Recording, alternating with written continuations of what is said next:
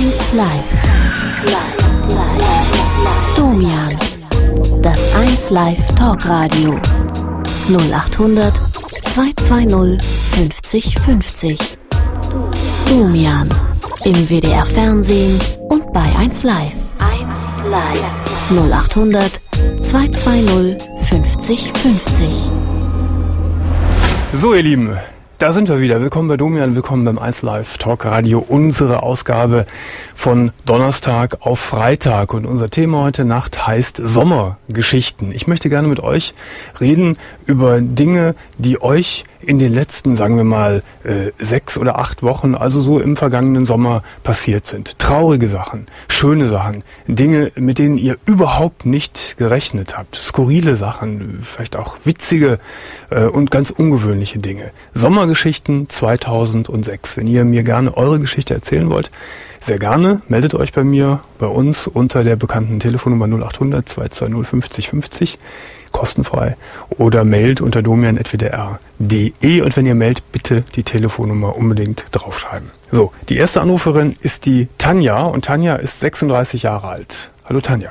Ja, hallo Domian, grüß dich. Guten Da- Morgen. Guten Morgen. Deine Sommergeschichte. Was ist ja, passiert?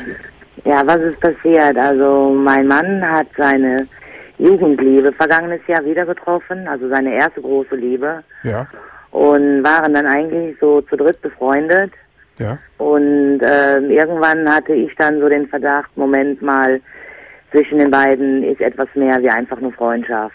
Mhm. Ja, aber irgendwo die Angst gehabt, sie beide darauf anzusprechen, einfach die Angst vor der Wahrheit. Wo hast du's, woran hast du es gemerkt? An, an Zwischenmenschlichkeiten, an Blicke, an Gestiken, an Berührungen. Mhm. Weißt du, so als Frau, man, man, irgendwann spürt man das. Ja, irgendwann ja. hast du das Gefühl und sagst so, da ist mehr, da stimmt was. Ja. nicht. Ja, und haben dann eigentlich ein schönes Wochenende miteinander verbracht, wir drei. Mhm. Und war dann eigentlich auf einem Standpunkt, jetzt musst du irgendwie gucken, das was kommt. Ja. Hab dann eigentlich ziemlich böse über meine jetzige beste Freundin abgelästert, aber nicht um, um sie weh zu tun, sondern um einfach gegenüber meinem Mann irgendwo eine Reaktion zu erwarten. Ja. Einfach um zu sehen, wie verhält er sich. Ja. Ja, und dann meinte er dann auf einmal, dann setz dich mal, ich hab dir was zu erzählen. Ja, und dann erzählte er mir dann, dass sie also, ähm, dass er sie gern hat, Ja. dass er sie lieben würde Aha. und dass eben halt mehr passiert ist wie nur Händchen halten. Ach du lieber Gott. Das hat er dir jetzt in diesem Sommer gebeichtet. Ja, Äh, Wie, Ja. lange, sei, wie lange seid ihr verheiratet schon? wir sind, wir haben Hochzeitstag gestern gehabt, 15 Jahre. 15 Jahre. Wie lange hatte er denn diese Jugendliebe nicht gesehen, bevor er sie letztes Jahr wieder getroffen hat? Ich, ich, ja, so, ja, 15, 12 Jahre, 13 Jahre. Mhm. Mhm. Waren die denn damals, äh, was heißt Jugendliebe? Äh, wie alt waren die beiden, als die, waren die richtig zusammen? Ja, so richtig zusammen waren sie. Die haben sich eigentlich im Kindesalter kennengelernt Ja. und ähm, ich kann also nur das stellen, was mein Mann sagt. Er hat sie also gesehen als als ja als angehender Teenager Mhm. und ja und da hat es Klick gemacht und da war es dann. Ne? Mhm. Und wie lange hat das damals gedauert, die Oh, das- Verbindung? Also das ging über Jahre mit Unterbrechungen so. vermute ich mal. Also so ganz genau weiß ich da nicht drüber Bescheid. So, und jetzt, das ist ja wirklich ein Hammer, wenn, wenn man das erfährt oder als du das erfahren hast. Wie hast du denn das aufgenommen? Da, da muss doch für dich eine Welt zusammengebrochen sein. Also in, im, im ersten Augenblick, ich konnte gar nichts denken. Also man hat mir im Endeffekt den Boden unter den Füßen Mhm. weggerissen und ich bin erstmal in ein ganz tiefes Loch reingefallen. Ja. Hab dann auch, ähm, äh, wie soll ich sagen, erstmal für mich eine Zeit gebraucht, überhaupt zu wissen, was will ich und wo, wo will ich hin und Mhm. Aber wie kann hast du, wie hast du denn spontan reagiert, als er das gebeichtet hat? Also ich bin eigentlich ein Mensch, der sehr schnell ähm, an die Decke gehen kann. Also also ich kann eigentlich schnell aus der Hose springen und in dem Augenblick habe ich einfach nur ja cool, lässig und ruhig reagiert und habe erstmal versucht, das aufzunehmen oder das zu verstehen, was da gerade passiert ist. Ne? Ähm, wie viele Wochen sind jetzt vergangen seit der, seit der Beichte? Äh, am Dienstag waren es neun Wochen. Ja. Mhm. Wie ist der Stand der Dinge heute? Ja, das ist also, das hat sich also ganz komisch entwickelt. Ich, also die Ulla hat sich, also auch in der ersten Zeit, ähm, sie ist mir wichtig geworden. Und ähm, wir sind ein Swingerpärchen so. und eigentlich von von der Warte eigentlich schon auf einem festen Boden irgendwo. Ja. Ja, und habe mich irgendwo auch in Ulla verguckt, Ach. weil ähm, es sind die Ansätze bei mir da. Also, wir halten- wir ganz verzwickt ist das. Wir also halten mal fest. Ulla, Ulla ist die, diese Ex äh, von, Ja, von ganz genau. Ach, du hast dich in Ulla auch verguckt. Ja, also das hat sich dann also, also es ist ganz verzwickt und ganz kompliziert und Hat sich, ja, denn, hat sich denn Ulla auch in dich verguckt? ähm, als Freundin ja, aber mehr nein. Ja, Hm. Also, das ist ja wirklich verzwickt, das Ganze. Äh, weiß, wissen die beiden, dass du dich in Ulla verguckt hast? ja, da bin ich ganz offen und ehrlich mit umgegangen. Wie also, findet dein Mann das denn? Schön. Schön, ja, für ihn ist es natürlich angenehm, ne? Er hat, Ja. er, was ist denn seine Position? Gut, er hat ja gebeichtet, dass, dass da mehr wieder ist mit der Ex. Äh, was möchte er denn? Hat er gesagt, dass er sich von dir trennen wollte oder will er wirklich beide haben? Also er will beide haben. Mhm. Also eine Trennung steht für uns beide also ganz außer Sicht. Also da haben wir uns eindeutig ausgesprochen. Mhm. Und ähm, da ist auch Vertrauen auch wieder voll da. Also von meiner Warte her ist auch keine Eifersucht oder sonstiges im Spiel. Du sagst, ihr seid ein Swingerpärchen. Ja, War denn Ulla schon mal mit euch im Swingerclub? nein, also ähm, überhaupt nicht. Nee, kann sie sich auch im Grunde genommen gar nicht vorstellen. Also das ist ein, ein Leben, was ich mit meinem Mann also eine Zeit lang sehr intensiv geführt habe, aber Ja. es schläft manchmal ein. Man hat seinen Job und Familie und bla bla bla. Und ähm, ja, nur jetzt haben wir ein Problem. Ne? Wir lieben im Endeffekt.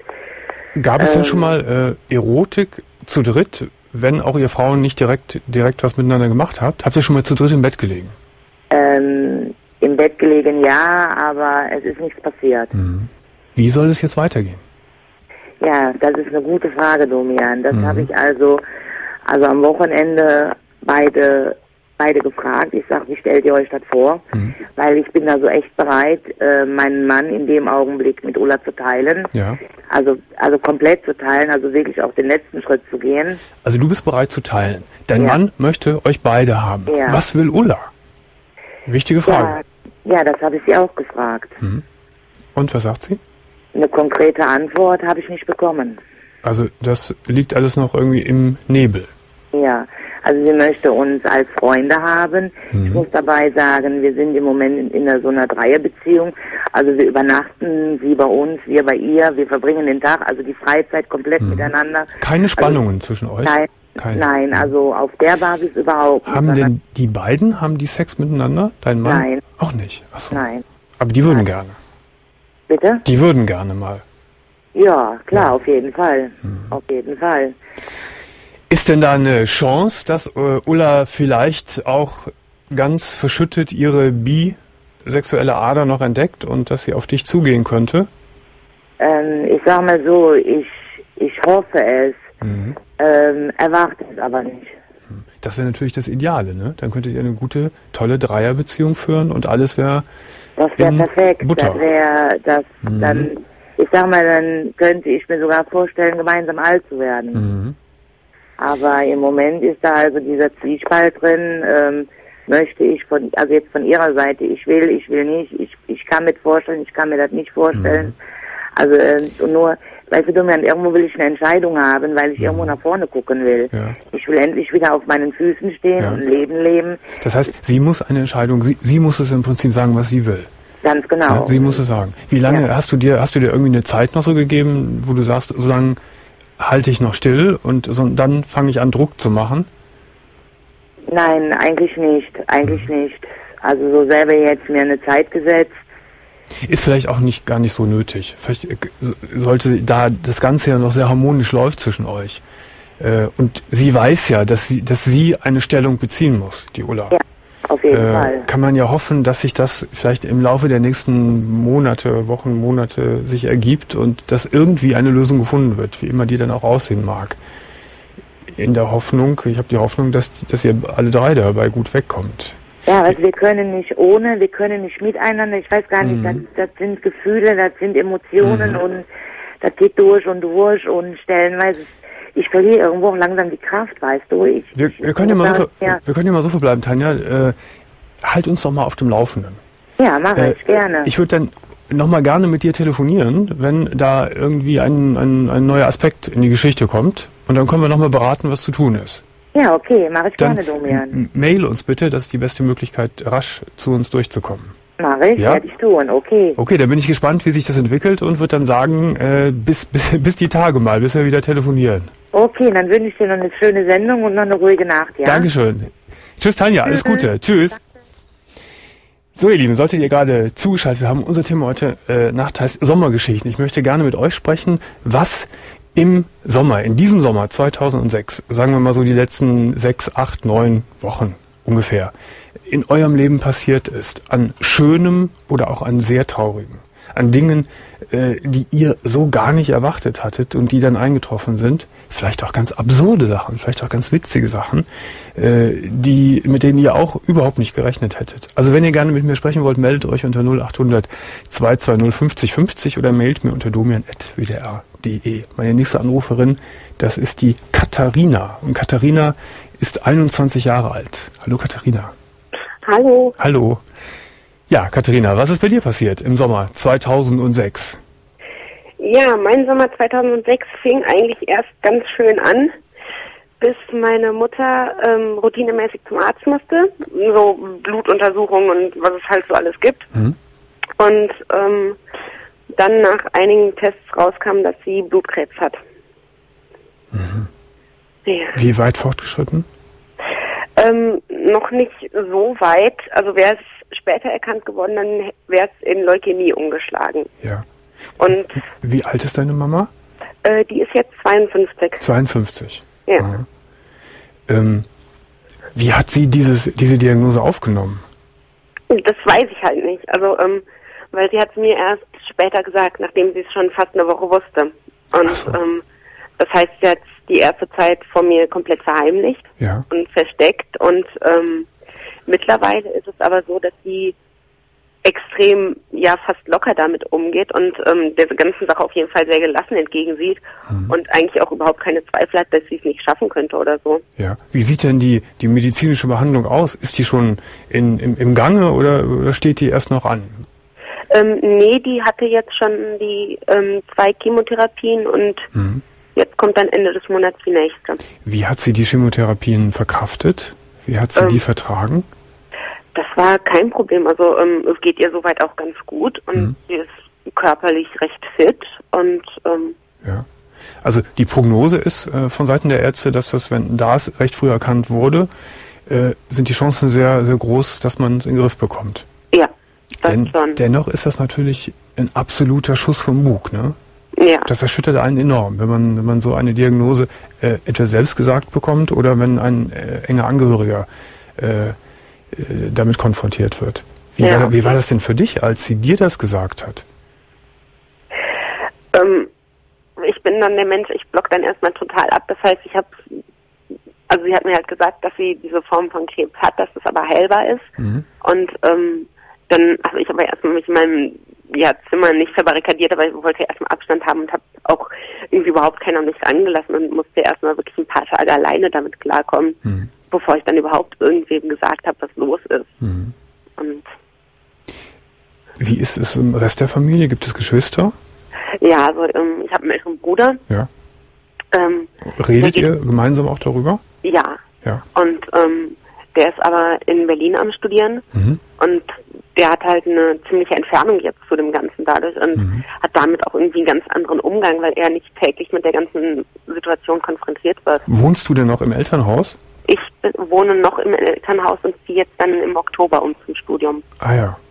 Äh, und der Vater, wie hat er das aufgefasst und aufgenommen? Ähm, ich weiß es nicht, also ich denke, ähm, es hat ihn ziemlich mitgenommen, Mhm. aber ähm, er zeigt halt auch nicht viel von seinen Gefühlen. Ja. Also die Stimmung, sagst du, bei deiner Mutter ist gut. Ja, Die geht da jeden sehr Fall. locker damit. Glaubst du, dass, dass das ehrlich ist oder will sie einfach nur vor euch oder vor dir als Kind äh, so die, die lockere und starke spielen? Ähm, ich glaube, ein Großteil ist schon ehrlich. Ist schon Also ich ehrlich. äh, Aufgrund, weil, Ja. weil es eine begründete Hoffnung gibt, dass, äh, dass es wieder alles gut wird. Ja, Wie viel, äh, was muss sie jetzt noch machen? Äh, muss sie, du hast gesagt, es gibt noch eine Chemotherapie? Ja, also ähm, die kriegt jetzt noch zweimal Mhm. Chemotherapie hier in einem Krankenhaus und dann ist sie für ein bis zwei Monate in Essen in einer Spezialabteilung, Mhm. Mhm. ähm, wo ihr dann im Prinzip die kompletten Stammzellen entzogen werden Ja. und die Kranken rausgefiltert werden und sie nur die zurückbekommt. Ja. Wann, wann kann man denn sagen, äh, ich weiß das bei dieser Erkrankung nicht, bei Krebs an sich dauert das ja immer sehr lange, aber wie ist es bei diesem Krebs?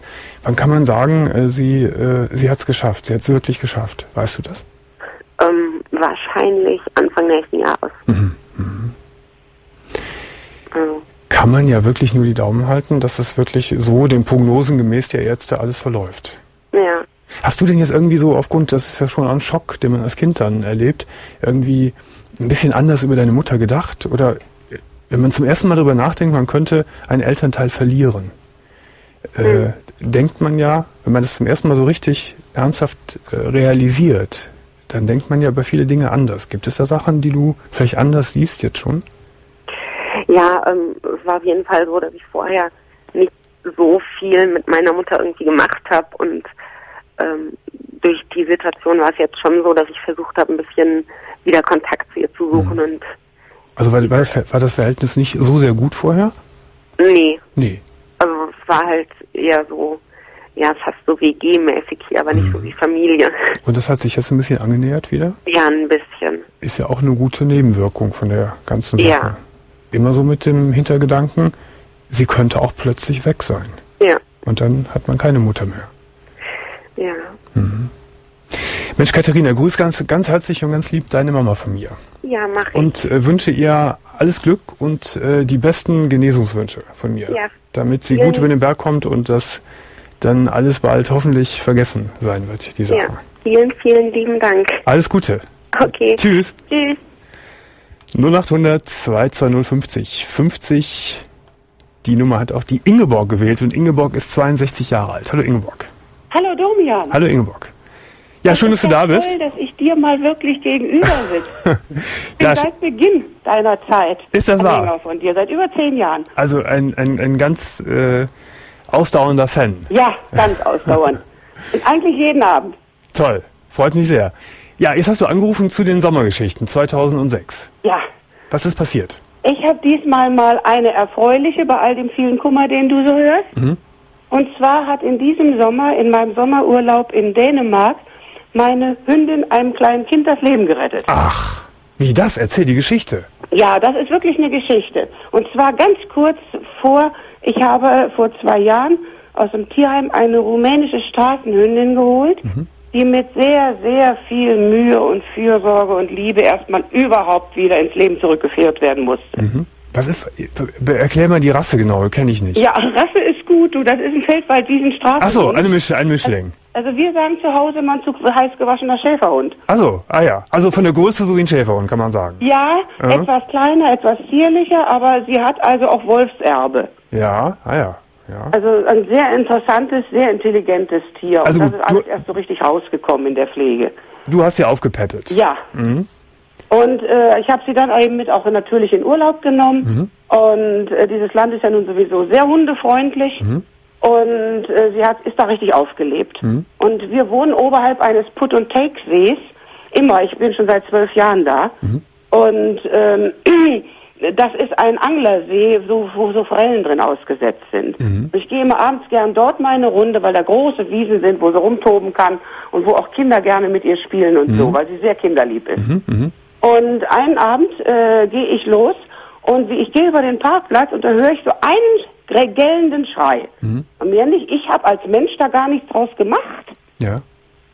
Und sie reißt, ich wollte sie sowieso gerade abgemacht von alleine, da reißt sie sich los und rennt stracks los. Ja. In eine ganz bestimmte Richtung. Ja. Also so Tiere spüren ja auch mehr. Die Ja, hat ja. in dem Schrei schon was gehört. Eine Angst vielleicht. Ja, Mhm. so Todesangst. Ja, eine Todesangst, ja. Und wie ich näher kam, da sah ich schon aufgeregt von allen Seiten die Angler zusammenlaufen. Aber die waren eben nicht so schnell gewesen, weil der See sehr breit ist. Die mussten Mhm. erst drumherum kommen.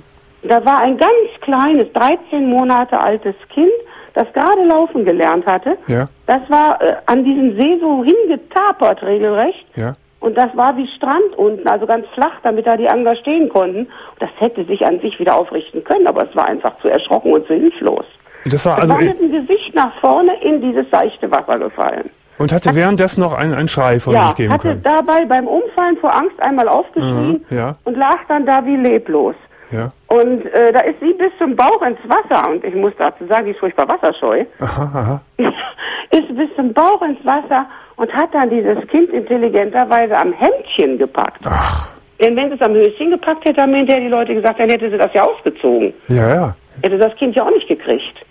Sie hat es also am Hemdchen gepackt und dann rückwärts, wie so ein geübter Retter, ist so rausgestiefelt und Hat hat- das hinter sich hergezogen. Und hat das Kind hinter sich hergezogen, ohne das Kind irgendwie zu verletzen. Ähm, überhaupt nicht. Es Sie hat hatte es nur am Hemdchen. an das Hemdchen. Ja, das ist ja toll.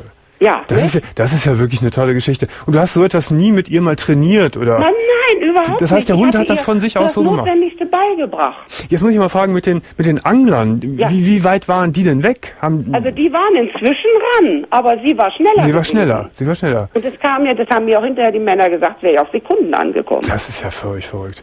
Und die dann, Eltern. dann Ja, hatte sie das Kind aber schon auch noch auf den Rücken gelegt, denn das lag ja mit dem Gesicht unten. Ja. Sie hatte es umgedreht und leckte es ab nach allen Regeln der Kunst. aber das Kind war, war nicht bewusstlos. Nein, aber es hat auch nichts gesagt. Es hatte wohl einen Schock. Ein Schock. Äh. Aber da müssen doch auch die Eltern in der Nähe gewesen Ja, sein. bei die so, waren sturzbesoffen. ach du Ehrlich. Und so ein kleines Kind lassen die Ja, dann ja, darum. ja, die saßen am Rand. aber da, spätestens da waren sie nicht mehr besoffen, Nein. als sie das gesehen haben. Nein, die wurden ganz munter. Äh, Und die Angler haben ihnen noch einmalweise das kalte Seewasser über den Kopf gegossen vor lauter Wut. Zu Recht, zu Ja. Recht, ja.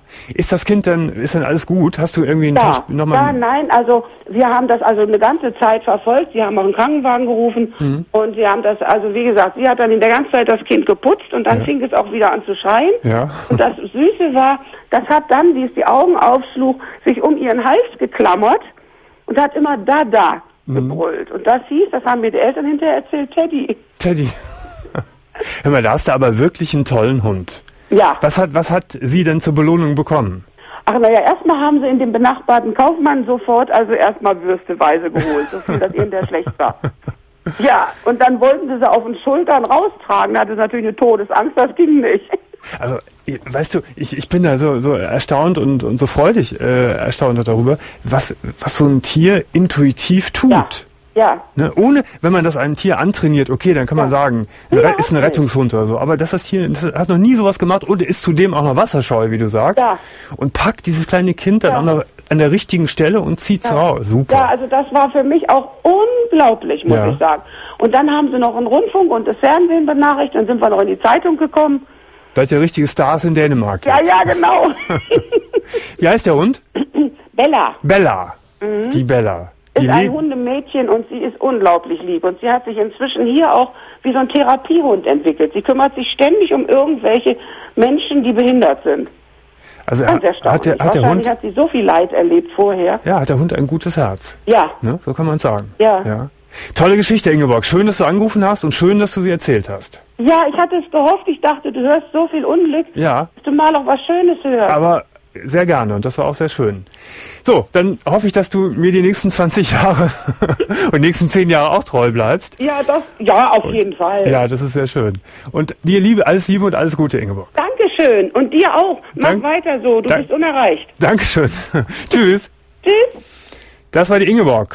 Und weiter geht es mit äh, der Verena. Verena ist 25 Jahre alt. Guten Morgen. Ja, hallo. Hallo Verena. Sommergeschichten. Ja, genau. Was also, ist passiert? ich war Sommer-Au-pair in den USA, in, äh, also in der Nähe von New York war ich, bei einer Gastfamilie. Mhm. Und ähm, da ist es ja so, dass man auf Kinder aufpassen muss. Und die Gastfamilie hat eine dreijährige Tochter, auf die muss ich aufpassen. Aber kurz gesagt, es war eine Katastrophe. Wie lange warst du denn da? Ähm, ich sollte eigentlich dreieinhalb Monate da sein, bis Ende September. Ich war jetzt von Ende Mai bis Anfang August war ich jetzt da. Und es war eine Katastrophe, sagst du. Äh, ja. Warum war es eine Katastrophe? Am Anfang schon. Ähm, die Familie, die war einfach ganz schlimm. Also die haben mich behandelt wie den letzten Dreck, sage ich jetzt mal. Ähm, die liefen rum wie der letzte Dreck. Die Wohnung, die war verdreckt, unordentlich. Das war ganz schlimm. Ähm, Also ich war eigentlich nur dafür da, um, das, um auf das Kind aufzupassen. Das heißt, die waren auch, auch unfreundlich zu dir? Ja, Ja. ja, also am Anfang, also man hat also von Anfang an gemerkt, dass da irgendwie was nicht stimmt, dass da so eine Distanz da ist. Wir sind überhaupt nicht warm geworden, ähm, wir lagen überhaupt nicht auf einer Wellenlänge oder Mhm. Ja. sowas. Ähm, ich habe von Anfang an schon so ein ungutes Gefühl gehabt und ähm, am Anfang ging es noch, jeder war irgendwie freundlich, aber das mit der Zeit ging es dann nicht mehr irgendwann. Ähm, also normalerweise die Aufgabe vom Au-pair ist es ja, aufs Kind aufzupassen und äh, alle Sachen zu erledigen, die mit dem Kind zu tun haben. So, aber die wollten mich jetzt als Putzfrau haben. Ich sollte das ganze Haus sauber machen. Ich sollte wirklich ähm, mehr Stunden machen, als ich sollte, ähm, bis 11 Uhr abends, weil das Kind ist immer bis 11 Uhr abends aufgeblieben mit drei Jahren. Ist auch durfte sehr lang. aufstehen, wenn es wollte. Und ähm, ich musste jeden Abend Essen für die ganze Familie machen und, und, und. Äh, durfte viele Sachen nicht, andere Au-pairs durften. Ich durfte kein Auto benutzen. Ich habe mein gesamtes Geld für Taxi ausgegeben. Sag mal, Und, äh, diese, ich bin da nicht sehr informiert, aber ich, ich meine mal gelesen zu haben, dass diese Au-pair-Organisationen doch das immer vorrecherchieren Mhm. und die Familien sich auch angucken. War das bei dir nicht so? Doch, eigentlich schon. Aber die Agentur, mit der habe ich auch eine schlechte Erfahrung gehabt. So. Also die haben sich Ach, nicht wirklich gekümmert. Ah, die ja. haben jetzt ganz viele Ansprüche an das Au-pair gehabt, Ja. aber nicht so an die Familie. Ich habe den Eindruck, dass die Familie, die muss nur Geld haben und Ja. ein eigenes Zimmer fürs Au-pair und das war's. Also du, da, wenn man Au- Au-pair macht, bekommt man selbst keine Kohle, ne? Doch, ich habe jetzt noch 140 Dollar die Woche gekriegt. Ach so, 140 Das Dollar, naja. so als Taschengeld, Ja. genau. Aber dafür muss ich auch ähm, 45 Stunden die Woche arbeiten. Äh, unterzeichnet man da vorher eigentlich einen, einen Vertrag, aus dem man auch nicht so schnell rauskommt? Oder Mhm. wie geht das? Genau, also was man alles für Pflichten hat und so weiter. Und eigentlich muss sich die Familie auch daran halten, zum Beispiel, dass man nicht länger als 45 Stunden arbeiten darf Ja. die Woche. Ja. Oder, ähm, keine Ahnung, dass man äh, bestimmen kann, welches Essen man kauft. Da gab es auch mal Probleme mit dem Essen und sowas. Und ähm, dass man halt nicht die Putzhilfe ist, sondern nur auf das Mhm. Kind aufpasst ne? und solche Sachen. Du bist ja früher äh, nach Hause gekommen. Gab es da, gab es da Ärger? Musst du da irgendeine Strafe Mhm. ja. zahlen? Ähm, zum Glück nicht, aber beinahe, also das war echt... oh. Es gab Ärger. Ja, Mhm. also, äh, das ist irgendwann eskaliert, die Situation. Ich mache das jetzt mal kurz, Mhm. weil das wird sonst auch zu lang dauern. Ähm, die Familie hat nachher noch ein zweites Au-pair bekommen aus Polen. Mhm. Die wollte dann Jahr da bleiben. Und ähm, okay, zwei Au-pairs für ein Kind. Wir sollten dann quasi äh, äh, rund um die Uhr dann arbeiten, Mhm. mehr oder weniger. Und ähm, das andere Au-pair hat einen kleinen Fehler gemacht. Und dafür, äh, ich kam dann irgendwann morgens, sonntags morgens, kam ich die Treppe runter, noch gar nicht wach und dann schreit die Gastmutter mich an in einer Lautstärke. Also sowas habe ich echt noch nicht erlebt, wirklich. Und äh, ich so, hallo, was kann ich über Nacht falsch gemacht haben? Und ähm, dann hat sie sich darüber aufgeregt, dass das andere Au-pair einen Fehler gemacht hat und was wir uns eigentlich einbilden und überhaupt. Und das mal bei der Kragen geplatzt. weil Ich habe immer die Zähne zusammengebissen. Ich habe echt viel mehr gemacht, als ich musste, weil ich wollte einfach einen Frieden bewahren. Ich wollte es irgendwie durchziehen. Aber ähm, Also da ist es richtig eskaliert, da gab es richtigen Streit und da hast du gesagt, ich habe die Faxen dicke, ich gehe. Mhm. genau. Musstest du eine Strafe zahlen, eine, eine Vertragsstrafe? Nee, das nicht. Nee, man, nicht. man kann also dann, wenn man keine Lust mehr hat, kann man auch gehen. Mm-mm, eigentlich nicht. Wenn man sagt, ich habe keine Lust mehr, ich habe Heimweh, dann muss man Strafe zahlen, dann muss man Flug selber bezahlen, alles. Ach so, ja, und wie war das jetzt in deinem Fall? Du bist ja früher Genau. gegangen. Und Ja, nee, halt, nee, wie war es denn in deinem Fall? Musstest du irgendwas zahlen? Nee, muss ich nicht. Musstest nee. du nicht? Mhm. Nee. Ja. Genau. Und zwar die Familie, die hat nämlich ähm, bei der Betreuerin angerufen, wir hatten so eine Betreuerin da vor Ort. Ja. Und äh, weil ich habe denen dann auch die Meinung gesagt, dass ich mir das nicht mehr gefallen lasse und Ja. so weiter. Und dann haben die gesagt, okay, die wollen wir jetzt nicht mehr. Ah. Aber ich habe zur selben Zeit auch gesagt, ich will nicht mehr. Und Ja, äh, ist wir ja haben dann klar. unabhängig voneinander bei der Betreuerin angerufen und ähm, beide somit gesagt, wir wollen nicht mehr. War es und dann klar. Und das habe ich dann auch von der Betreuerin erfahren, dass die Ah, mich ja. nicht mehr wollten. Wir haben seitdem kein Wort mehr miteinander geredet. Ich habe dann innerhalb von ein paar Stunden meine Sachen gepackt und wollte nur noch raus aus dem Haus. Ich wollte nur noch raus. Ich konnte keine Minute mehr länger da bleiben. Es ging einfach nicht mehr. Und schnell weg aus Amerika, schnell weg aus New York und nach. Genau. Ich hatte Gut. so die Schnauze voll. Ich hatte, wenn das Amerika ist, okay, super. Nochmal, Und- nochmal, würdest du es nochmal machen, irgendwo anders hin? Ähm, nicht Oder- mehr mit Au-pair, nicht, nicht Nee. als Au-pair, auf gar keinen Fall. Vielleicht sind andere Agenturen besser, aber Ja. ich habe schlechte Erfahrungen. Andere haben auch bessere Erfahrungen, aber, Aber du hast vorher oder früher so etwas auch noch nie gemacht? Mhm. Nee, das war der erste Versuch und der erste Ja. Versuch ist gescheitert. genau. Ja, da war bei das kein- anderen Au-pairs ist dann- es auch alles glatt gelaufen, Ja, aber bei mir dann- Katastrophe. Dann war es kein schöner Sommer. Mm, das hat sich nachher noch geändert. Und zwar, seit dem Tag, wo ich da raus bin, ging es mir besser. Und ja, ja, das glaube ich dann schon. Ja, ja, klar, aber Ja. während der Zeit dann nicht. Ja, ja. Genau. ja. Also, Dann, du bist dann? ja, ich bin dann noch drei Wochen in Amerika geblieben. Und zwar, ähm, ich dachte, also ich wusste überhaupt nicht wohin. Ich dachte, ich gehe zum Flughafen, ich stand auf der Straße, ich wusste nicht wohin, keine Ahnung. Und ähm, dann habe ich durch Zufall einen auf der Straße kennengelernt in der Nachbarschaft. Die kommt auch aus Deutschland, aus Köln, genau wie ich. Und wir haben geredet, ich habe nur noch geheult, ich war so fertig und ähm, dann hat sie gesagt, ja okay, ich wohne ja direkt um die Ecke, kannst bei mir wohnen. Das war eine Fügung. Also unglaublich, so Wahnsinn. Und dann habt ihr, dann habt ihr beiden euch noch schöne Wochen gemacht. Da unten. Äh, ja, also ich habe dann bei ihr gewohnt und ihrem Mann, also sie hat dann Amerikaner geheiratet Ja. und dann ist rausgekommen. Also ähm, ich hatte hier in Köln noch nie so eine gute Freundin, sag ich jetzt mal, wie sie. Also wir waren echt total Mhm. auf einer Wellenlänge. Wir haben die gleiche Musik gehört, also Trance und Karnevalslieder. Also die ist ja auch nicht gerade. Also zwei Extreme. Etwas, etwas sehr Übles erlebt in, in, äh, in dem Sommer und dann aber auch danach dann etwas sehr Genau. Schönes. genau. Verena, danke für deinen Anruf und äh, alles Gute und Vorsicht bei den nächsten Überlegungen, so etwas vielleicht annähernd nochmal zu machen. Ja. Alles Gute. Danke. Tschüss. Tschüss. Bianca. Bianca ist 41 Jahre alt und hat sich auch zu unserem Thema Sommergeschichten hier bei uns gemeldet. Hallo Bianca. Hallo Jürgen. Hallo. Was ist dir passiert in mein Thema ist ähnlich wie die Anruferin zu Anfang, nur nicht mit so einem netten Ausgang. Ja. Ähm, und zwar hat mein Lebensgefährte mir am 7.7. gesagt, ähm, er würde sich trennen und möchte seine türkische Arbeitskollegin heiraten. Ah, gleich heiraten. Ja, im Oktober. Hm? Wie lange, wie, lange wart, ihr- wie lange wart ihr zusammen? Zehn Jahre. Zehn Jahre. Ja. Und, Zehn Jahre. Ja. Hat, hat er das aus heiterem Himmel zu dir gesagt? Ja, ja, so ziemlich. Er fing eine Woche vorher so ungefähr an, er möchte sich doch wohl trennen und ähm, es gab auch, ja, wenn ich jetzt überlege, manchmal durch Kleinigkeiten Streit, wo er wusste genau, dass er mich hochziehen kann. Also solche Sachen hat er dann provoziert, wenn man heute drüber nachdenkt. Und ja, wir streiten uns ja nur und ich trenne mich, ja. Und dann habe ich gesagt, ja, man setzt sich doch mal hin oder redet oder versucht Ja. zumindest nochmal oder gibt nochmal Bedenkzeit oder zumindest auf Distanz. Nein, nein, nein. Ja. Dann war mir schon klar, da ist irgendwas anderes hinter. Dann ist er dann eine Woche später mit rausgekommen. Ja, es ist ein heißes Eisen, ich weiß, die ist dritte Mal verheiratet, hat drei Kinder. Aber ja, er möchte gerne. Ja, ist das auch gut. Und äh, dann hat er mir noch erst den Himmel auf Erden versprochen. Er würde sich drum kümmern um diese Wohnung, weil wir noch Kündigungsfrist haben. Äh, ja, je öfter er da war, desto weniger kam. Ich bin dann geschlagen worden und alles. Von ihm? Ist, ja, ja, ja, weil Vorher- er nicht raus konnte. Also er konnte nicht da bleiben bei ihr. Ich Mhm. weiß nicht, türkische Eltern und die sind nicht verheiratet noch nicht und Und er, er hat dich geschlagen. ja, Hat ja, er, auch gut, weil ich ruhig geblieben bin. Ich habe ihn nicht geschlagen, ich habe ihn nicht angeschrien, ich bin ganz einfach ruhig geblieben und habe gesagt, lass uns vernünftig reden. dafür, hat er, dafür hat er dich geschlagen. ja, Hat er dich früher auch schon mal geschlagen in der Beziehung? ähm, erst mal ähm, jetzt eigentlich zu meinem Geburtstag. Da hatten wir gesessen und getrunken und dann ist er anschließend, wo alle weg waren, ja, da ist er ausgerastet. Unbegründet, ich, äh, Mhm. er fing an, Wann war denn der Geburtstag? Der war im Mai. Im Mai. Im Mai. Also Und, äh, viele Jahre vorher alles gut gegangen. Ja, Und Ja. dieses Jahr ist er komplett ausgerastet dann. ja, er hatte schon mal einen Aussetzer, so, aber nicht jetzt äh, in Sachen Schlagen, also so, wo man sagt, hm, man kann das nicht wirklich nachvollziehen, was er Mhm. jetzt sagt, aber so eigentlich weiter keine Bedeutung geschenkt.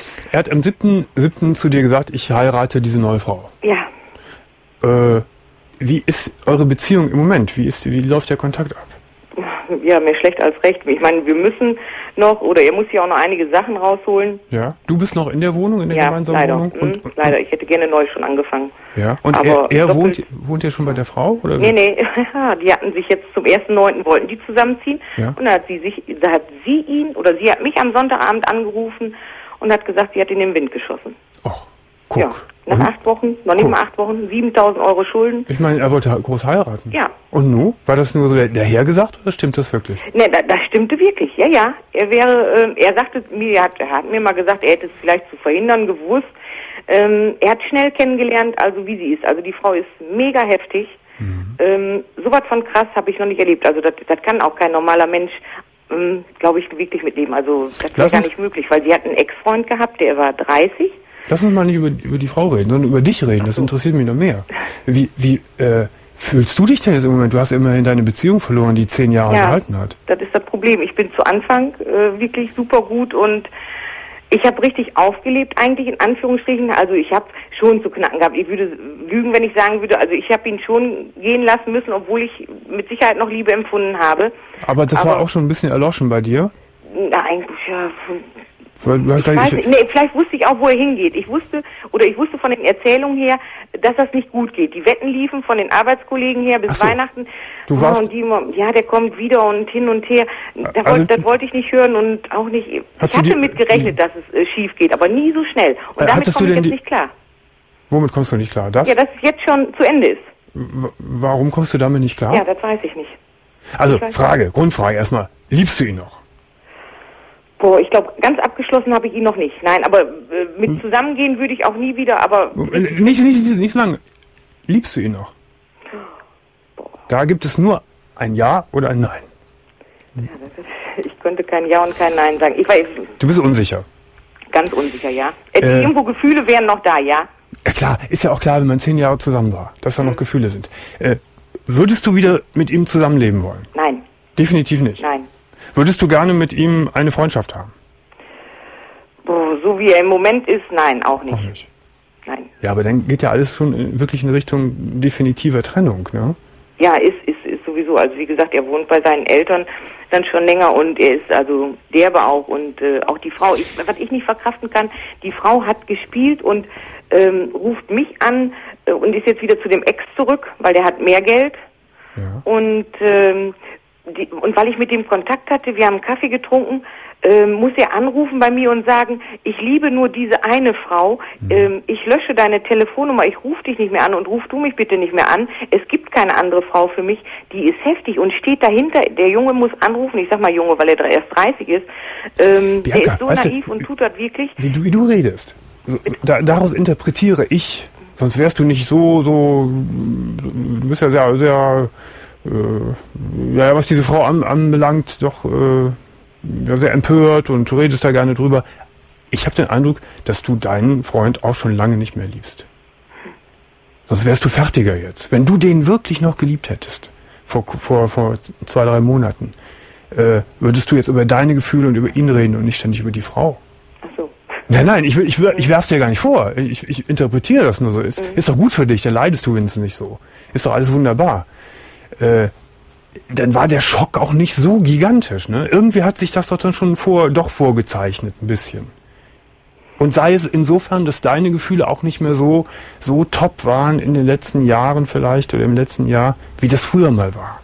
Ich weiß nicht, ich hätte jetzt gesagt, also ich wäre mit dem Mann bis zum Ende gegangen. Also das war vielleicht, also für mich schon. Also eigentlich haben wir uns gut ergänzt. ja, vielleicht war es auch zu alltäglich, dann ist auch möglich. Vielleicht, ja, vielleicht. Ich meine, wenn er dich da. Ich meine, wenn so ein Vorfall schon passiert, dass er im Mai dich geschlagen hat, das hinterlässt ja schon Ja. Risse in einer Beziehung.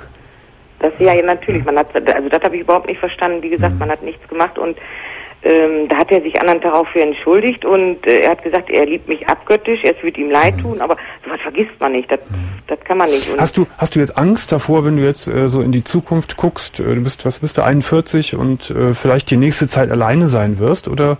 Nee, also ich glaube, da könnte Gott weiß, wer vor der Tür stehen. Also ich, da hätte ich, nee, da würde im Moment sagt mir das gar nichts. Das heißt, du bist eine Frau, die steht gut im Leben und die kann auch ihre, ihre Sache alleine managen. Ja. Und du brauchst nicht unbedingt einen Partner an deiner Seite. Nein. Nee, Nein. das ist doch schon mal auch gut. Ja, Wie viele- aber die Angst viel- vielleicht auch davor, wieder irgendwo mal eine Beziehung einzugehen und was man erlebt hat. Und dann enttäuscht zu werden. Ja, Ja, verstehe ich. obwohl ich aber ich war lockerer drauf, wo die zusammen waren, als jetzt, wo es, ich weiß nicht, auf einmal ist so eine Angst da, ich, ich weiß nicht, woher die kommt. Also mir ging es definitiv. Lass mich da nochmal einhaken, weil ich das nicht richtig verstehe. Du sagst, es ging dir definitiv besser, als die noch zusammen waren, Ja. als jetzt. Warum ist das so? Ja, ich kann keine Antwort drauf geben. Hast du Angst, dass du ihn wieder an die Backe kriegst? Nee, auch nicht. Aber warum ist dir das dann lieber gewesen als so? Das könnte dir doch eigentlich egal sein. Schon, das stimmt, aber ich, ich weiß es nicht. Ich habe anders leben können, also viel freier, lustiger jetzt auf einmal, als wenn. Mir ist das aber auch, ähm, wo die Sonntagabend angerufen hat und mir das gesagt hat, dass sie nicht mit ihm mehr zusammenzieht und alles. Ähm, Oder ist da doch noch so ein, doch noch, doch noch viel Herzensbindung, dass er dir auch leid tut jetzt? nee, auch nicht mal. Aber was dafür mal. kaputt gegangen ist, dass ich diese Chance nicht gehabt habe, vielleicht doch mit ihm neu durchzustarten. Also das hat sie wirklich, sie hat von Anfang an definitiv nur ein Spiel und es ist hier so eskaliert. Also das Ganze, was sie mir eigentlich rundherum angetan hat, war von ihr schon bewusst. Gut, aber Und- du, jetzt, jetzt ist ja vorbei. Jetzt hättest du ja die Chance nochmal, aber du willst es ja auch nicht. nochmal eben anzufangen Ja. mit ihm? Mhm. Will, willst du ja nicht. Ich glaube auch er nicht. Ich glaube Ja, nicht, nicht, dass er ähm, wirklich, weil er wie er hängt äh, gefühlsmäßig noch drin, verstandsmäßig Mhm. hat das, glaube ich, verstanden, aber gefühlsmäßig hat er die Frau noch nicht losgelassen. Also wie auch immer, warum das jetzt so ist, dass, dass dir es lieber gewesen wäre, dass die beiden zusammen sind, als denn so, es ist dir letztendlich auch wurscht. Ich, ich höre so aus all dem, was du sagst, dass du dich ganz gut arrangieren kannst mit letztendlich mit der Gesamtsituation. Dass du nicht so sehr hinterher trauerst, dass du ihn nicht zurückhaben willst und dass du dann, dass du mit beiden beiden selbst im Leben stehst. Und das ist doch eine gute Sache. Ja, allein. Zu, aber es war irgendwo schöner, ja, weiß ich nicht, denen dann zu zeigen, man kommt weiter und jetzt. Ah, ich weiß nicht. Vielleicht jetzt auch vier Wochen, vielleicht ich, gut, jetzt ist dann natürlich auch eine blöde Situation, dass man hier noch immer drin hängt und ich noch nicht neu anfangen konnte. Und äh, also die vier Wochen hätte ich noch wohl ganz gerne gehabt, aber irgendwo, ich weiß auch Ja. nicht warum. Ich kann da auch keinen Grund für finden. Also das ist Aber es geht dir nicht so schlecht und das, darüber freuen wir uns. Ne? Liebe Bianca, komm weiter gut durch die Zeit und ich wünsche dir alles Liebe und alles Gute. Dankeschön. Tschüss. Tschüss. Unser Thema heute Nacht heißt Sommergeschichten. Ich möchte gerne mit euch sprechen über Dinge, über das, was euch in den letzten Wochen in diesem Sommer 2006 passiert ist, an traurigen Sachen, an schönen Sachen, an schrägen Sachen, an lustigen Sachen, an absurden Sachen vielleicht. 0800 220 50 50 oder meldet mir unter domain.wdr.de plus eure Telefonnummer. Simone. Simone ist 37. Nee, 34. Bitte um Entschuldigung. Nicht schlimm. Habe ich dich fast schon äh, drei Jahre älter gemacht. Ja. Simone, Ja, hallo. schön, dass du da bist. Ja, ich bin etwas aufgeregt und ähm, ich habe eine, einerseits einen sehr schönen Sommer erlebt, weil meine Tochter zur Welt gekommen ist, Mhm. also was ein absolutes Wunschkind war. Und ähm, Wann ist die Kleine zur Welt gekommen? äh, Mitte Juni. Mitte Juni. Mhm. Mhm. Und ähm, ja, die Geburt mm, war etwas problematisch, war halt anders, als ich es mir vorgestellt hatte. Es hatte halt, war erstmal zwölf Tage über der Zeit Mhm. und ähm, dann wurden die Wehen halt eingeleitet und ähm, so weit so gut, die Wehen kamen dann halt auch und es ging alles vonstatten und ja, Einführungswehen, Presswehen und so weiter und Ja. ähm, Alles gut gelaufen. alles eigentlich gut, Herztöne war in Ordnung und Kopf war schon zu sehen. Ähm, Ja. und dann äh, ging es aber irgendwie nicht weiter und die Assistenzärztin wurde dann etwas nervös und hat dann halt den Oberarzt zu Rate gezogen. Es war halt, ich muss dazu sagen, es war mitten in der Nacht, Mhm. um 1 Uhr. Und ähm, mein Mann und ich waren halt eigentlich schon, ja, ich habe halt gedacht, jetzt muss ich halt alles nochmal zusammennehmen und ähm, dann ist sie gleich da. Mhm. Mhm. Ähm, das war dann aber leider nicht der Fall. Der Oberarzt kam dann halt rein und äh, sagte mir dann halt, dass äh, der Kopf halt gar nicht durchs Becken passt. Mhm. Was für uns ein sehr großer Schock war, weil man beim Stand der heutigen Medizin ja eigentlich davon ausgehen sollte, dass man den Kopfumfang und den Beckenumfang Ja, war's. irgendwie messen Ja, könnte. Ja. Mhm. Gut, das, dann gingen die Herztöne meiner Tochter runter ähm, und ich musste halt notoperiert werden mit Vollnarkose, weil die an, vorder, vorher angeforderte PDR auch nicht kam, weil die Ärzte irgendwie anderweitig zu tun hatten. Ähm, ja, und dann bin ich halt aufgewacht im Aufwachraum. Mein Mann war leider nicht im Aufwachraum. Das fand ich halt auch sehr ungewöhnlich, dass er dann nicht da Ja. war, weil wir wussten halt auch nicht, was es ist. Ja. Und ich lag dann da praktisch und wusste überhaupt nicht, ob ich jetzt eine Tochter oder einen Sohn habe Mhm. und mein Mann nicht da und es war alles ganz schrecklich. Äh, gut, am anderen Morgen dann halt war alles in Ordnung. Meine Tochter war da, War wohl auf. war, war wohl auf, da ging es gut und ähm, ich hatte aber starke Schmerzen im Bauch Ja. und ähm, mein Bauch war ziemlich aufgebläht und mein Darm war halt sehr träge und mir ging es halt ziemlich scheiße auf Deutsch gesagt. Und ähm, Du hast gerade am Anfang äh, das so formuliert, meine Tochter ist gesund auf die Welt gekommen.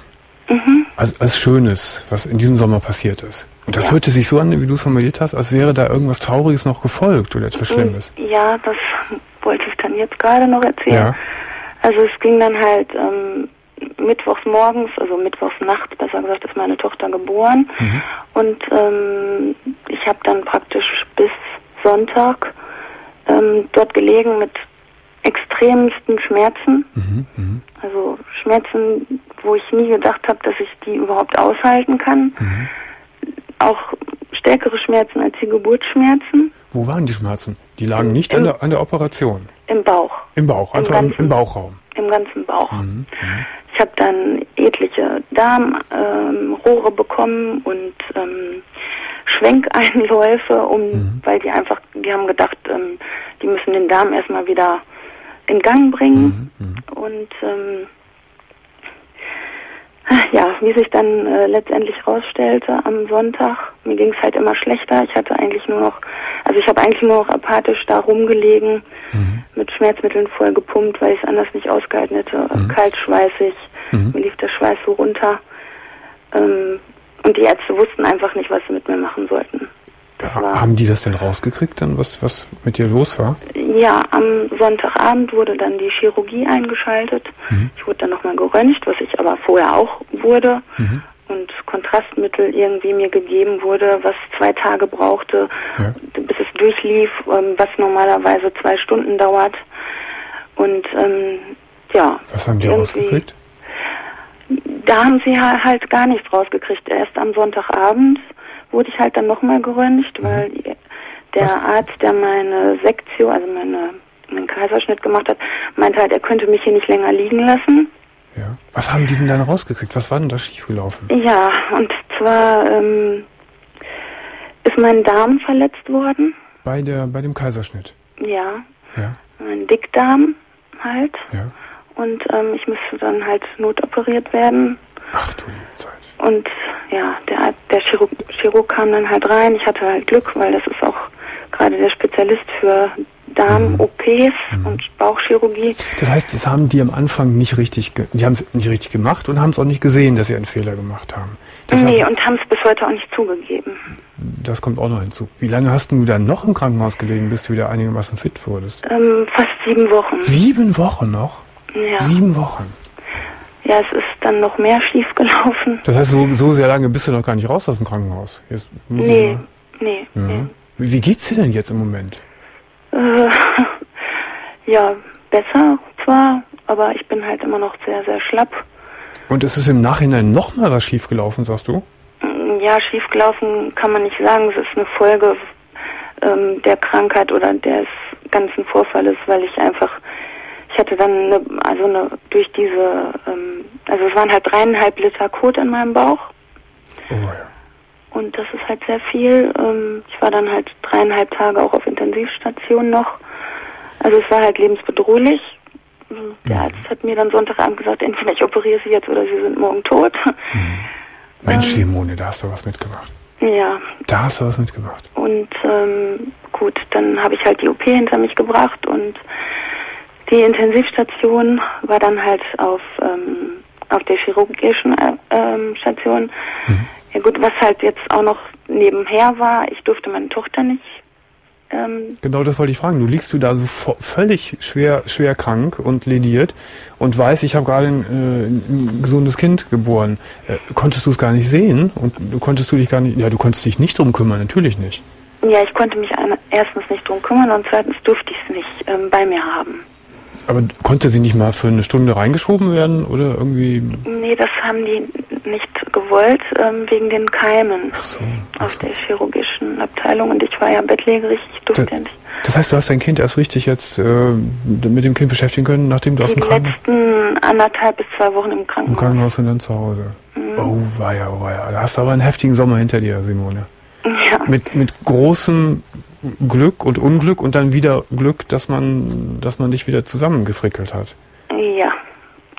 Und die geben, du hast gerade so angedeutet, die, man gibt diesen sogenannten ärztlichen Kunstfehler oder Fehler nicht zu. bislang. Äh, habt ihr denn schon irgendwas eingeleitet? Irgendwelche? Wir haben einen Anwalt eingeschaltet. ja, das ist so richtig so. Mhm. Weil also die Schwestern und die Ärzte, also die Assistenzärzte und so, die haben eigentlich alle durch die Blume durchblicken lassen, dass es halt ähm, bei der Sektio halt passiert ist und ich ich habe noch nie was mit dem Darm gehabt und ich bin ein gesunder Mensch und ähm, auch ein aktiver Mensch immer gewesen und ich habe noch nie irgendwelche Also liegt da auch noch jetzt eine ganze Menge Nervereien vor euch, äh, aber das finde ich sehr richtig, dass, dass ihr da einen Anwalt einschaltet und was unternehmt. Denn es waren deine Schmerzen und dein Leid äh, und deine Ängste, Ja, ich bin in drei Wochen fünfmal operiert worden Mhm. und werde jetzt nochmal operiert wieder. Warum jetzt nochmal? Ähm, ich habe jetzt einen künstlichen Darmausgang Mhm. durch diese OP, weil der Dickdarm sich halt erst ähm, wieder regenerieren muss, Ja. dass der dann halt wieder voll funktionstüchtig ist. Ja. Und ähm, ja gut, Gott sei Dank wird dieser künstliche Darmausgang Zurückverlegt. ja. zurückverlegt, aber es ist eine dermaßen heftige Belastung, Mhm. Mhm. weil dadurch darf ich mein Kind, also ich darf halt nicht schwer heben, Mhm. Ich kann mich halt nicht komplett um meine Tochter kümmern, Ja. weil ich halt, ja, ich habe halt eine Haushaltshilfe. Dann habe ich auch noch Ärger mit der Krankenkasse, weil die die Haushaltshilfe nicht mehr bewilligen wollen. Wie ist denn das Verhältnis zu deinem Mann? Sehr gut. Sehr gut. Weil du gerade ganz am Anfang deiner, deiner Schilderung äh, so ein bisschen erzählt hast, dass du irritiert warst, dass er damals nach der, nach der Entbindung nicht in dem Aufwachzimmer war. Ja, weil sie ihn da nicht hingelassen Ach so, haben. ach so, die haben ihn nicht dahin gelassen. Er hätte schon gerne gewollt. Ja, natürlich. Also er steht auf jeden Fall zu dir und hat Ja. jetzt die schwere Zeit auch gemeinsam mit dir, mit dir durchgestanden. Ja, ohne ihn hätte ich das nicht geschafft. Ist das dein erstes Kind? Ja, Dein erstes Kind. Mhm. ja, es ist halt auch ein absolutes Wunschkind. Wenn jetzt die neue, nochmal die neue OP ist und der Darm zurückverlegt wird, der, der Ausgang, ja, hast du denn dann die Hoffnung, dass dann, wenn du dich dann erholst, dass alles wie so richtig gut ist wie vorher? Nee. Warum nicht? Also, ja, mein Bauch ist dermaßen vernarbt. Mhm. Ich kann mich also nicht angucken, Ja. ohne halt in Tränen auszubrechen. Mhm. Halt eine unheimliche psychische Belastung. Ich bin eigentlich, ich habe eigentlich eine super Figur und Mhm. bin eigentlich ein sportlicher Mensch und habe eigentlich immer einen schönen, straffen Bauch gehabt. Ich meine jetzt mal, ich will das nicht niedersprechen, nicht, dass du mich falsch verstehst. Ja. Abgesehen von dem, von dem, dem kosmetischen Aspekt, ist es innen drin wieder alles gesund dann? Das ist abzuwarten, ne? Mhm. Also es ist natürlich so, also meine Lunge hat ist halt betroffen, Mhm.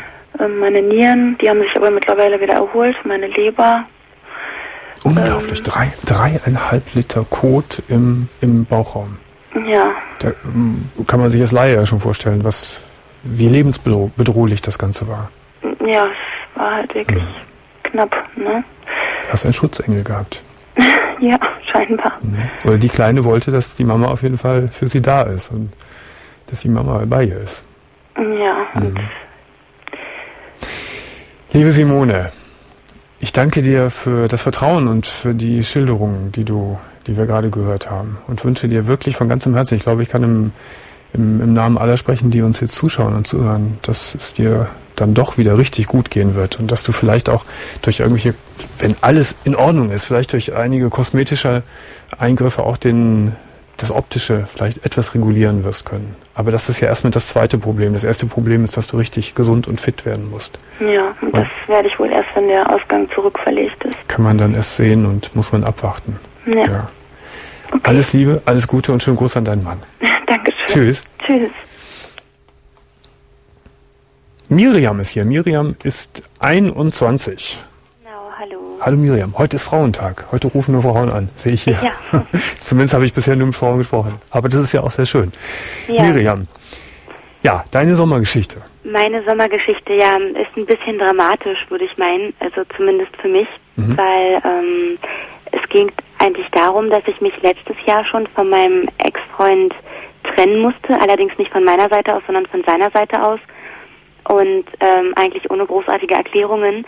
Und dann hatte ich ihm dieses Jahr im Juli eine SMS geschrieben und ihm halt gesagt, dass ich immer noch so viel empfinde, wie es halt letztes Jahr noch war. Obwohl ihr ein Jahr schon getrennt wart Richtig. und er dich verlassen hat ohne große Begründung. Richtig. Wie lange Also- wart ihr denn vorher da zusammen gewesen? Ja, das ist ja der Witz. Wir waren nicht besonders lang zusammen. Also das waren gerade mal sechs Monate. Ja. Aber die waren sehr, sehr intensiv und es war, ja, es war nicht so, als würden wir uns seit einem halben Jahr erst irgendwie so nah sein, sondern schon seit, weiß ich nicht, seit fünf Jahren oder länger. Und das war halt etwas, ja, sehr, sehr, sehr Besonderes. Und ich schätze ihn auch immer noch sehr und ich liebe ihn halt immer noch. Und dann kam auf einmal eine SMS von ihm, in der stand, ähm, ja, liebe Miriam, es ist schön, nette Worte zu hören. Ähm, allerdings weiß ich jetzt, warum ich mich damals so seltsam verhalten habe. Und dann kam, ich habe mich in einen anderen Mann verliebt und wir leben glücklich zusammen in Kreuzberg. So. Das heißt, das heißt, ich rekapituliere. Der hat sich voriges Jahr einen Typ verknallt, Mhm. hat es dir nicht gesagt, Mhm. lebt mit dem jetzt zusammen. Richtig. Dann hast du ihm eine SMS dieses Jahr geschickt, dass du noch Gefühle hast und daraufhin hat er das zurückgeschrieben. Richtig. So habe ich es, ja, da habe ich es richtig verstanden. Richtig. Mhm. Und ähm, weil ich ihm halt geschrieben hatte, dass ich seinen Wunsch respektiere und auch akzeptiere, aber dass ich halt jetzt nicht drum rumkomme, ihm einfach mitzuteilen, wie ich mich fühle und wie es mir geht. Mhm. Und ähm, dass er mir das nicht verübeln soll, dass ich mich jetzt einfach so bei ihm melde. Mhm. Ähm, so wie ich es ihm auch nicht verübel, dass er einfach mal der Meinung war, ja, wir trennen uns dann jetzt mal und das war total überraschend, weil wir hatten uns nie gestritten, aber wirklich nie. Es war alles vollkommen in Ordnung und von einem Tag auf den anderen beendet er das Ganze ohne großartige Erklärungen. Jetzt, und jetzt hast du die, die, die, die Nachricht erfahren, dass er mit einem Mann zusammen ist. richtig durch eine SMS. Durch eine SMS. Ich meine, das war für dich wahrscheinlich auch erstmal ein Hammer, eine Hammerinformation, oder? Es war ein Schock. Ich stand in meinem Hausflur und bin beinahe zusammengebrochen, ehrlich gesagt. Ja.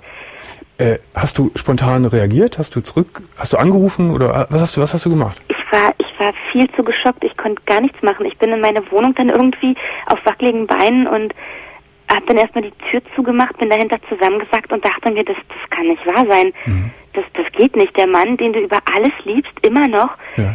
ähm, das, das geht einfach nicht. Hast du denn dann Also- bis heute mit ihm irgendwann mal Kontakt gehabt? Nee, gar nicht, Gar weil nicht? ich, ich würde das irgendwie so gerne, aber ich weiß nicht, wie ich mich jetzt ihm gegenüber verhalten soll. Wann, wann, kam, wann kam diese SMS? Die SMS kam am 17.07. Am 17.07. Und Ja. seitdem äh, hast du, ist nichts mehr passiert an Kommunikation zwischen euch beiden. Nein, weil, also ich hätte es gern getan. Das Problem ist bloß, ich weiß nicht, wie, soll ich jetzt darauf reagieren? Mhm. Weil ich, ich meine, ich, ich freue mich, dass er glücklich ist. Also ich Mhm. hab, er hat mir auch gesagt, dass er sehr glücklich mit ihm ist. Und es ist mir, es liegt mir sehr am Herzen, dass er glücklich ist. Es ist mir sehr, sehr wichtig. Sag mal, du sagst, diese, Und- diese Zeit war sehr intensiv damals mit euch beiden. Hast, Ja. hast du denn da irgendwie so ein bisschen gewittert, dass er vielleicht auch einen Hang zu Männern haben könnte? Oder gar nicht? Also eigentlich überhaupt nicht. Auch im Bett, äh, äh, sexmäßig lief es richtig gut. Extrem gut. Extrem also gut, das, ja. das war überhaupt, es war nicht mal ansatzweise daran zu denken, dass er irgendwie Männer so attraktiv finden Mhm. könnte, dass ähm, Er hat- irgendwas mal mit einem Mann anfängt. Er hat auch nicht erzählt, dass er früher vielleicht mal irgendwie eine Erfahrung gemacht hat. Nee, gar das, das nicht. war gar kein Thema. Nee, ich wusste nur, dass er eine Ex-Freundin hatte ähm, oder hat, die ein absolutes Biest war und die viel bei ihm kaputt gemacht hat. Und dementsprechend dachte ich erst, dass er sich deswegen von mir getrennt hat. Mhm. Und dann erfahre ich dieses Jahr am 17.07., Am 17.07. dass Dass er mit einem Also- Mann lebt.